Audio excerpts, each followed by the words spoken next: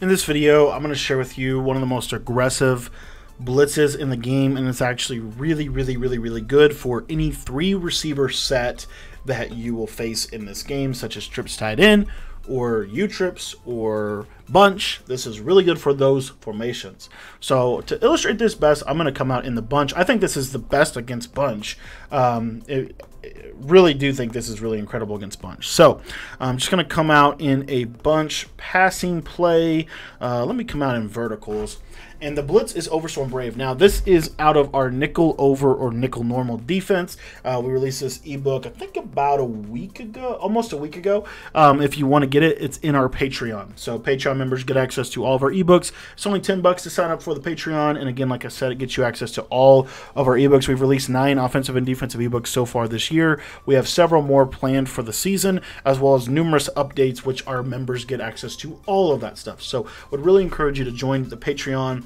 But this blitz right here is really, really good for bunch and, like I said, any trips formation. You can you don't have to just run it out of man, um, but it's Overstorm Brave out of nickel over.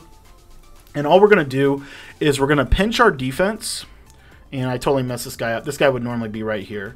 Uh, but we're going to pinch our defense, and then I like to show blitz. Now, why? You might ask, why do you like to show blitz? Well, a couple reasons. The first one is because it's going to bring, obviously, brings the safeties down, but it puts the safeties in a better position to kind of react in man coverage quickly. But it also kind of brings this guy, who's going to be our user in this defense, it's going to bring him, you know, down in here so that I can actually take control over him and actually make him, you know, usable. So you see here how he's already in the box and I'm already able to get this guy ready to roll. Now, I like to basically, you know, run it just like this. You can crash your line down, you can crash your line out, whatever you want to do. Uh, but basically the idea with this is that if they block their running back, you should see that we're going to get a some pressure off of either side. So if they block the running back, which is the way most people like to pick up pressure at this point in the year, this is a great blitz for people who like to block the running back because again, you see how fast it is to set up. I could then create whatever coverage I want. If I want an outside third, one of the most underrated things in this game is to outside quarter the bunch side guy because what'll happen is is that if they block their running back, a lot of times that outside quarter will match that number one receiver wherever he goes a little bit better than man to man will. Uh, anyways, and then we'll see here, you see how the pressure can come in pretty quickly, and then we're able to kind of lurk into coverage. And again, this is a blocked running back. Now, if they are, if they're not blocking their running back a lot, or maybe this is like your opening blitz, one of my favorite things to do is to take this linebacker um, you don't have to necessarily just do the linebacker, but you could take this defensive end and man him up on the running back. And what you'll see is if the running back goes on a route, he'll go guard him and will still get really good pressure off of the right side.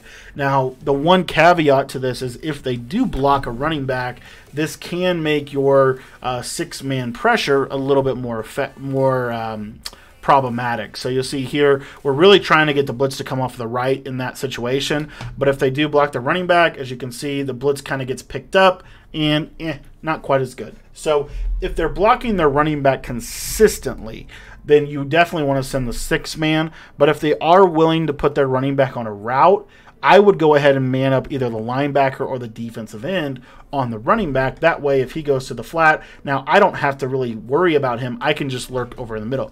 Now, another thing you might notice with this blitz is it can kind of get randomly picked up. Uh, I will say this is, like I said, it's primarily a trips blitz that I like to use against three wide receiver formations to one side because, as you can see here, I don't have any responsibility, right? I can easily just assign one of these other guys to do that. Now, what if they motion across? Well, I'm glad you asked. So let's say they motion the slot across. You're going to see my nickel corner just goes with him. So really simple, really, really, really, really simple. And then, um, you know, if they if they do something like this and you've got these guys blitzed, if that running back goes to the flat, you've got to go guard him. Um, and obviously, you're going to get really good pressure from this. Now, you can also do this from any from any play in the formation. So let's say I want to do it out of cover two. You see here, we're just going to uh, globally blitz our linebackers. You can crash your line down if you want.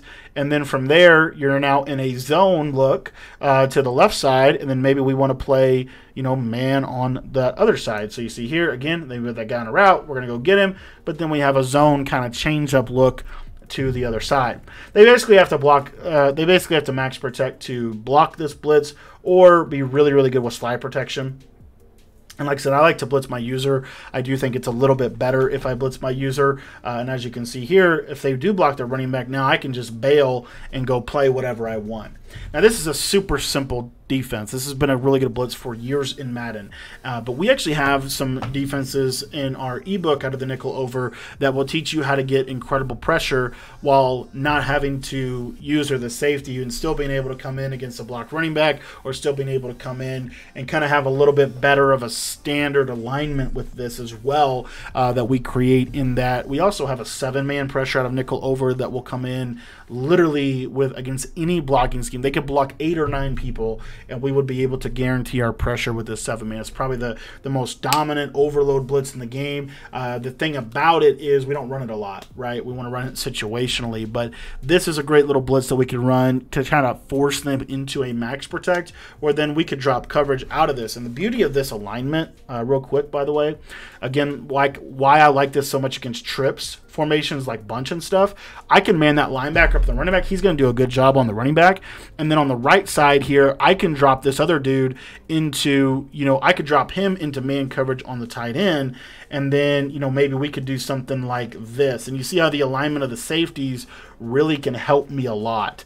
And then, you know, nickel normal arguably gets probably some of the better sheds in the entire game. And now we're in max coverage as you can see. So there's a lot we can do with the defense. I just wanted to show you this simple little blitz I really like for three wide receiver sets like bunch and stuff um, because what you can do off of this is really create a very aggressive defense where you're going to be blitzing a lot and guaranteeing your pressure and then at the same time being able to at the right time kind of pull those coverage checks whether it be out of match coverage which in match coverage you can actually put the safety down there in this type of formation and it would still be fairly effective or in man-to-man or zone coverages which you can also kind of rotate stuff and do a lot with that as well i want to thank you for watching this video again if you want to learn my entire nickel over defense, make sure that you join my Patreon. It's only $10 to sign up for that. And again, like I said, it gets you access to the full nickel over ebook as well as all of our other ones. We have nine offensive and defensive ebooks available at the Patreon, and members also get access to all the updates to those ebooks,